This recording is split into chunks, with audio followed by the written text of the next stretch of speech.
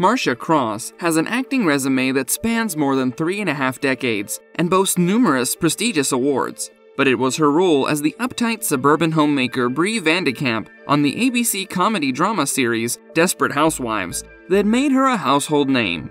With her impeccable acting chops, striking beauty, distinctive fiery red hair, and gorgeous porcelain skin, the actor was destined for TV stardom.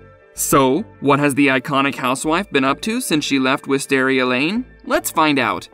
In November 2017, the actress was diagnosed with anal cancer after undergoing a routine checkup. She opened up about her cancer ordeal a year later in September, after being in remission for eight months. The cancer survivor expressed the desire to put a dent in the stigma associated with anal cancer after discovering that anal cancer patients felt embarrassed about their diagnosis.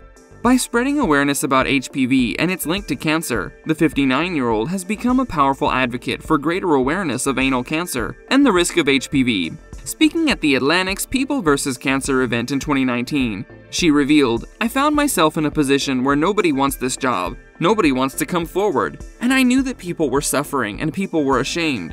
The TV personality hasn't shied away from showing the ugly side of her cancer diagnosis, sharing the side effects like hair loss, mouth sores, and gastric problems after undergoing 28 rounds of chemo. Being diagnosed with cancer has had a profound effect on the star's life as she opened up to SurvivorNet, confessing that being a survivor taught her to cherish the important moments in life, no matter how small.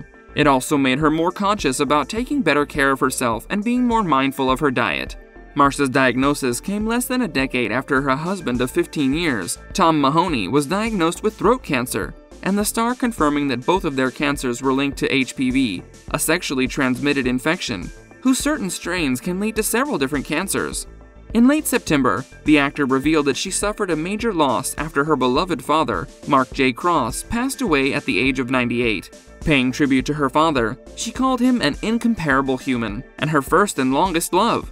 In addition to ABC's much loved series, for which the talented actor earned an Emmy nod for Outstanding Lead Actress in a comedy series, she has worked in numerous notable shows like Melrose Place, Everwood, and Quantico.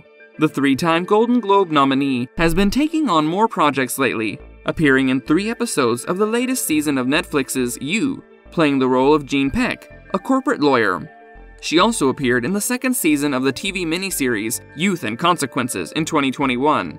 She will also be seen in two more projects Behind the Curtain of Night and Everything Can Happen. No wonder making a busy schedule for the acclaimed actor.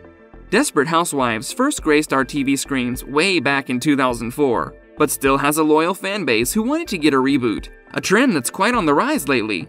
But the Massachusetts native who starred in all eight seasons rebuffed the idea when rumors of a possible reboot resurfaced online. Not because she had a bad experience making the show, as she still keeps in touch with her fellow castmates. Instead, her lack of excitement about a possible reboot stems from the fact that since the show had over 150 episodes, it would prove implausible to recreate the show in the same capacity.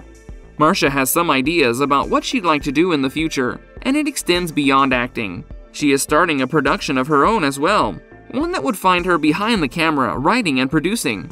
As I've gotten older, you know, your scope gets broader, she said. I have a sort of passion project I'm working on. The ABC star uses her high profile status and social media like Instagram and Twitter to support numerous charities and nonprofit organizations, be it raising awareness about the HPV virus or supporting significant movements like Black Lives Matter. Even though few and far between, the mom of two also uploads moments of her personal life, be it her posts gushing about her husband, or celebrating small milestones like her 14 year old twin daughters, Eden and Savannah, going to high school. In her most recent post, she thanked all her 238,000 followers for supporting her during her father's demise. Sharing her gratitude, she confessed not seeing Instagram as a vehicle for love initially, but it became exactly that after her fans and followers rallied behind her during one of her toughest times. Thank you for watching our video. Don't forget to like, share, and comment. Subscribe to our channel for more great content.